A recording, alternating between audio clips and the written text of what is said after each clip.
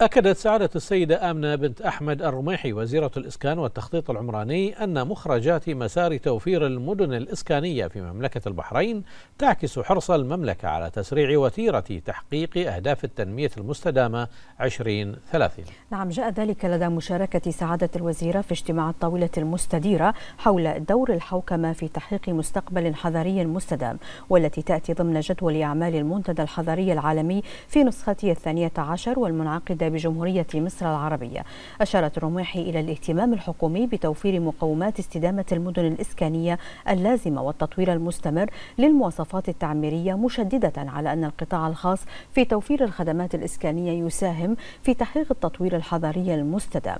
وتطرقت سعادتها في هذا الصدد إلى برنامج حقوق تطوير الأراضي الحكومية وبرنامج التمويلات الإسكانية كما استعرضت الوزيرة أبرز جهود حكومة مملكة البحرين لتطوير مشاريع التطوير الحضري للمناطق التراثية والتاريخية. وفي سياق متصل شاركت وزيرة الإسكان والتخطيط العمراني في أعمال الجلسة النقاشية لمتابعة مستجدات القرار المشترك الذي تقدمت به كل من مملكة البحرين إلى جانب عدد من الدول الشقيقة والصديقة. خلال اجتماع الجمعية العامة بنيروبي وحمل عنوان السكن المتاح للجميع.